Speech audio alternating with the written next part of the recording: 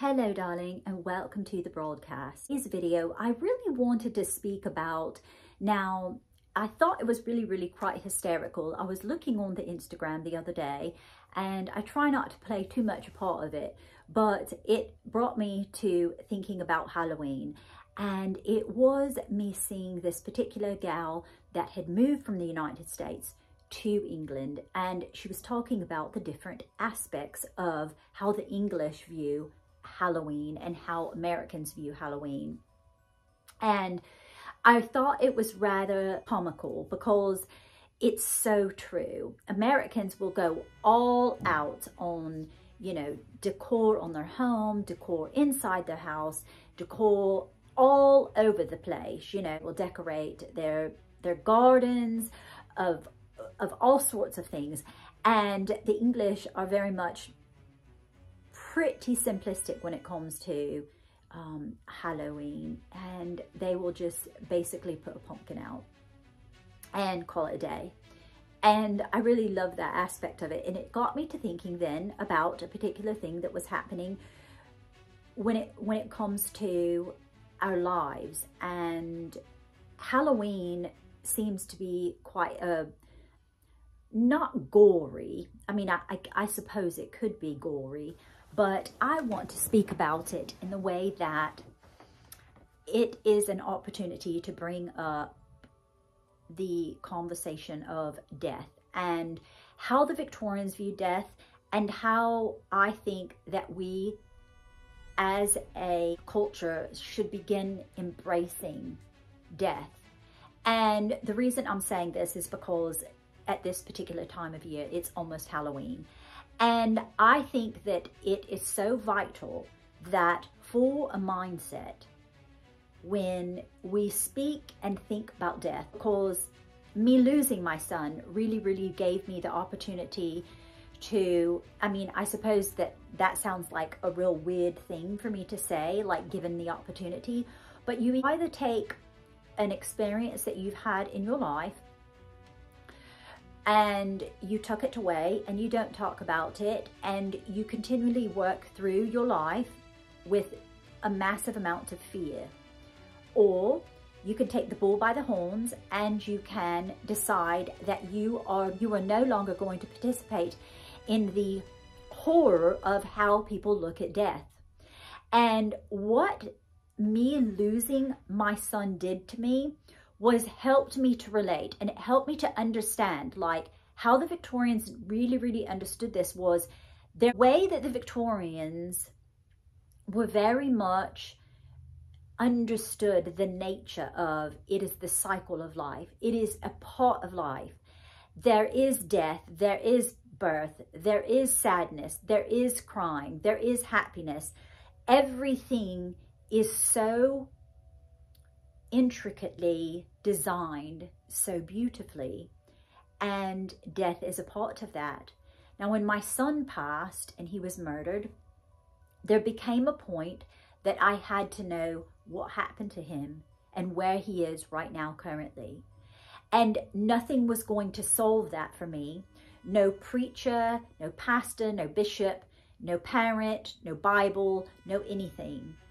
And I really got serious with my higher self, with God, with the great creator, because I was determined that I would not stop until I un uncovered what happened to my boy. And what I learned, because we're always being given the answers to prayers or petitions or decrees or commands, if you want to call it that, because I did command. I commanded that I must know what happened to my boy and where my boy is. And I receive the answers. And I know, just as the Victorians did, that there is no death. There is no death.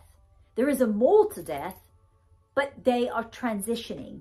And this is why I think spiritual people are so more much um, understanding of the cycle of life in that sense because the Victorians were very much like that. They were very much understood that they didn't see things as a as witchcraft. They did not see things as you know sorcery and those things that Christian people and women especially that I grew up with, that I was raised around, that are still in religions that have this absolute unwavering sense of stalwart stubbornness to understand and have compassion for people that are not like them, that they all different.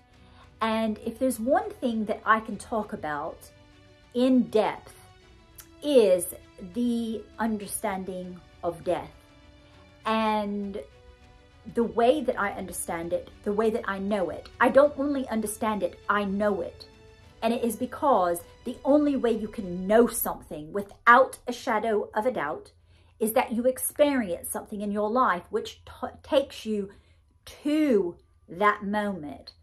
That you will either find revelry, you will either find disdain or hatred or anger or bitterness through the process of grief, or you can embrace it and know that without a doubt, I understand life completely differently and I understand death completely differently.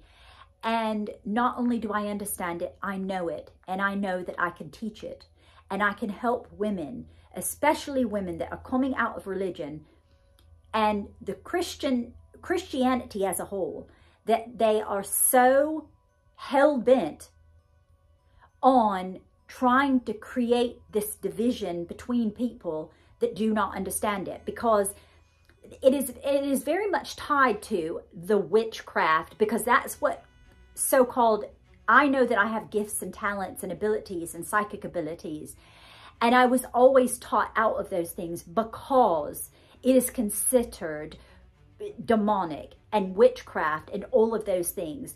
And I would just say that that I would like to admonish people that are very staunchy in the sense that they are being extremely judgmental on people, especially people that are not like them. And this will probably cause quite a bit of brawl. And well, maybe not, because you know what? I'm not going to manifest that that will do it. It's not going to. It's actually going to manifest that people will begin to understand. People will want to take notice. People will want to begin to understand what's going on in life and that some people out there might have a bit of a uh, sour taste in the mouth because they don't understand, because it's driven from fear.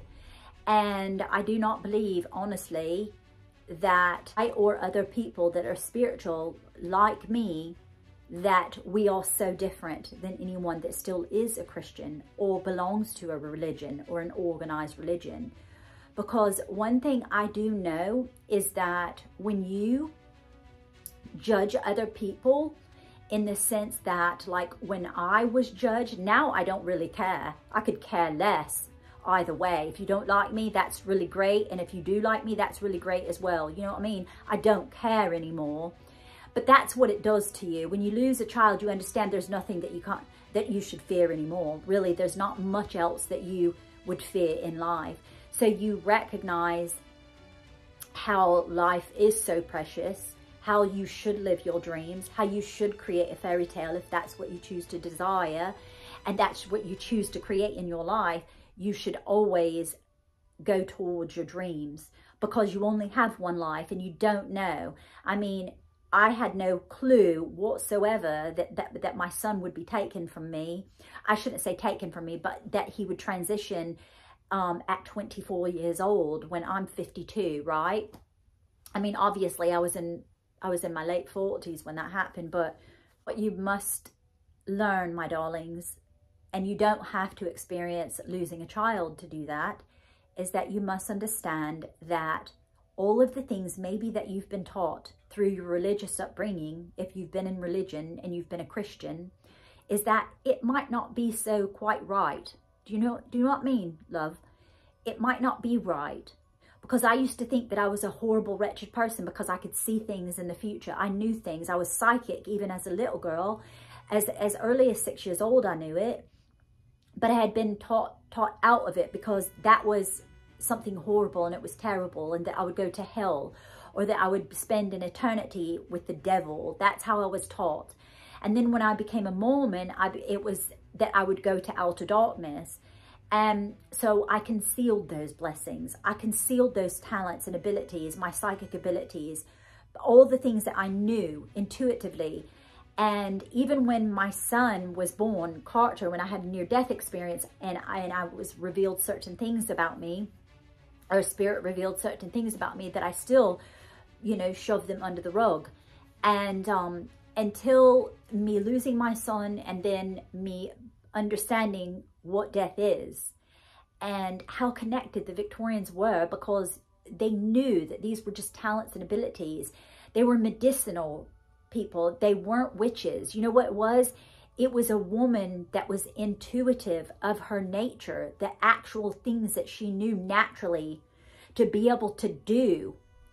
And it was the simple fact that perhaps men knew they couldn't control women like that because it is Mother Nature. It is Mother Earth. Mothers are so wonderful and healing, and we have all of those gifts and talents in us, but we have been taught out of them.